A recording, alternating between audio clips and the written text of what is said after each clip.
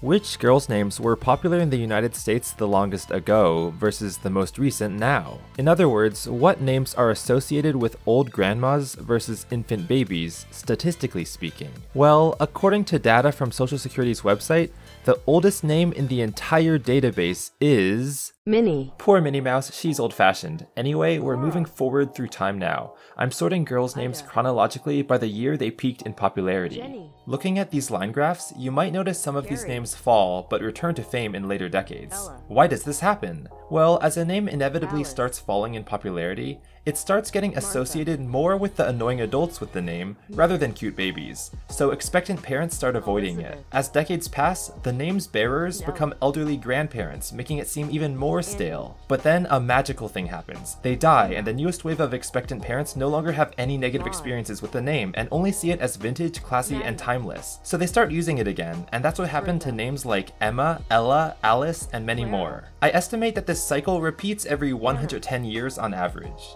Now we're looking at 1886 borns, which were at the heart of the Lost generation. This cohort was named Lost because many of them would go on to fight in World War I, returning to become disoriented, wandering, and directionless. They were also the ones who enjoy the prosperity of the Roaring Twenties, but also the disillusionment that the American dream can corrupt, like in Fitzgerald's The Great Gatsby. Gravity Falls. Next, do you notice the box and whisker plot on the bottom of the screen? The middle box depicts the 25th, 50th, and 75th percentiles of when babies of that name were born. But what about outliers? For those who just gotta let it go, which is why the whiskers only depict the central 95%. So if your birthday happens to line up with the leftmost edge of the box, that means you were born after a quarter of your name sharers. Now we're leaving the lost generation and entering the greatest generation. The first name of this bunch Gladys. is also one of the first names to rise from relative obscurity when the dataset began in 1880, thanks to the protagonist of a novel published 10 years earlier called Puck. That means if you were teleported onto a city street in 1901 and heard someone call for a Gladys,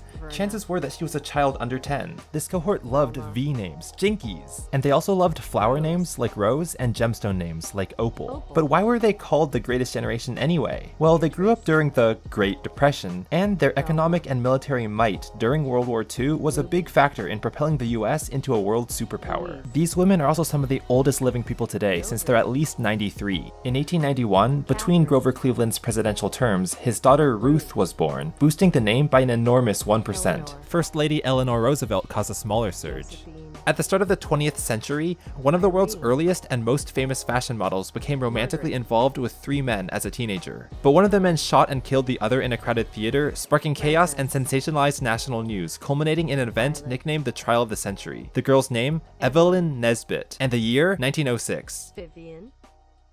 The light gray region in the upper right of the graph is where no name has ever tracked. The number one name for each year sits at the boundary between the white and gray of the graph. Juanita. Sometimes the Catholic Church wants to devote a special year for celebrating and revering Mary, the mother of Jesus. One of these years was 1954, and what are these years called? Marian years. Lorraine spiked in popularity in 1918 when the Allies won World War I. It's also when the region of southeastern France, called Alsace-Lorraine, was returned from Germany to France after 47 years. Babies named Jean were often born in the Great Depression, making them the silent generation. They were called this because they conformed instead of rebelled as young adults in the 1950s. They also came of age in the McCarthy era, when speaking out could get you labeled as a communist and shunned. In the heart of the Great Depression, famous child actresses like Shirley Temple brought joy to expectant parents when they normally faced fear and economic hardship. This woman named Ruth Handler oh, invented the Barbie doll after she watched her daughter Barbara play with paper dolls in 1956. Barbara sounds like an elderly woman's name today, but back then, about half of Barbara's were still children.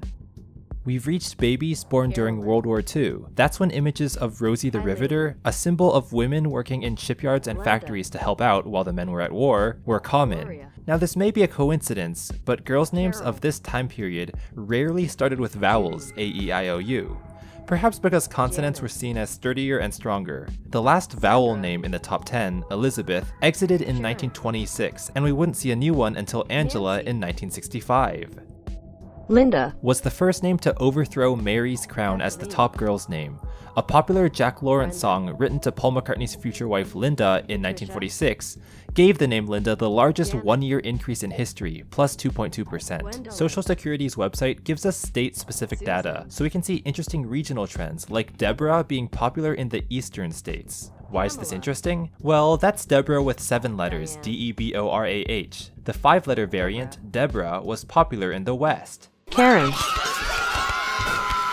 if you haven't noticed, soldiers have come back from the war and we're in baby boomer territory, meaning these names are current day grandmothers. This was one of the largest and most controversial cohorts in human history. It was also a time period when name trends started rising and falling faster than ever before. Interquartile ranges of under 15 years started becoming common. Few First Ladies have been through as much hardship as Jacqueline Kennedy Onassis, who witnessed the death of her infant son and husband in 1963. The dates of her swearing in and the tragedies both show up as visible spikes in her name's popularity. In November 1952, the first transgender woman received publicity for having a sex reassignment surgery. Her transition occurred in a world not yet familiar with gender fluidity, so her name, Christine, sadly dropped by half in the 1950s. Tammy was a virtually unheard of name until a series of four movies came out in the 50s and 60s, with naive Mississippi girl Tammy looking for love. Michelle was boosted in 1965 by that Beatles song that goes Michelle ma belle. Now we're on to Gen X, a relatively smaller generation that was known for being raised by the TV. After a scandal between President Bill Clinton and Monica Lewinsky broke in 1998, her name descended and sadly never recovered. The powerhouse of Gen X was Jennifer, which was the top girl's name in literally all 50 states for every year from 1973 to 78. And it was boosted by the 1970 film Love Story, which was, yeah, another romantic drama. Anybody watch that sci-fi movie, The Bionic Woman? You'll know what I mean. By now, you might be wondering how I'm picking which names to actually show in the video, since there are thousands total. And your name might not show up at all. Well, if a name ever entered the top 25 for any year, then it's guaranteed to qualify for this list, and you'll see a little badge to the right of the name that says what rank it peaked at. I'll also include names if they have interesting backstories, like Christine, or to fill in gap years so every year has at least one name. Anyway, say hello to the 1980s, a decade whose fashion was big everything, big permed hair, oversized power suits, and bright colors. Well, girls' names were also the biggest. Average name length had been increasing since the 50s and reached a peak of 6.41 letters in 1989, only to reverse to just below 6 today. 1986 was a crazy year for singer Whitney Houston, who had three singles top the Billboard charts that year. Now we're at 1987, a turning point in name trend data. Top names prior to 1987 hovered around 3%, but over the next decade, they'd fall to around 1% and stay there. Perhaps it was due to the rise of unique spellings or the internet? Either way, the next name, Britney, was the fastest in and out. Half of all Britneys were born between 1988 and 1994, which was also the construction period of the Channel Tunnel between the UK and France. So if you got an email from a stranger named Brittany and guessed her age to be 31, chances are you'd be within three years of the truth truth. Chelsea Clinton became the first daughter of the United States in 1993. Also, the US was victorious in the World Wars in 1918 and 1945. Is that perhaps a coincidence on the line graph? Now we're looking at millennial names. These people were the first to come of age in the new millennium and have lived with computers their whole lives.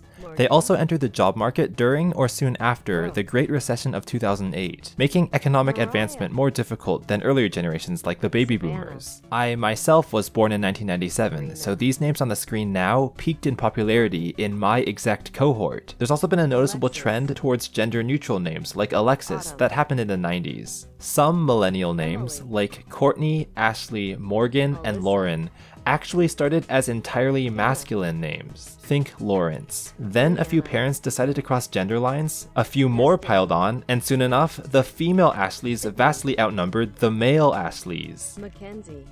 The best example of this is Madison, whose original meaning, son of Maud, is masculine, and society perceived it as entirely male until the 1984 film Splash was released, which depicted a mermaid discovering New York City for the first time and picking her name from a random street sign that happened to be labeled Madison Avenue. Now we're at Generation Z, who grew up in the age of social media, or are still growing up to be honest. Gen Z is probably the largest group of people on YouTube and watching this exact video right now, so hello. Miley spiked because of Miley Cyrus, Marley spiked because of Marley and Me. The Twilight Saga was a massively popular vampire book and movie series in the late 2000s, and Bella Swan was the protagonist. Next, rock singer Sonny Sandoval named his daughter Heaven spelled backward in 2000, and now over 80,000 girls have the name. The new millennium saw an increase in place names, Brooklyn, Paris, London, etc. Next, singer Aaliyah was tragically killed in a plane crash at age 22, cutting her career short, but her name would go on to rank 36th in the country 11 years later.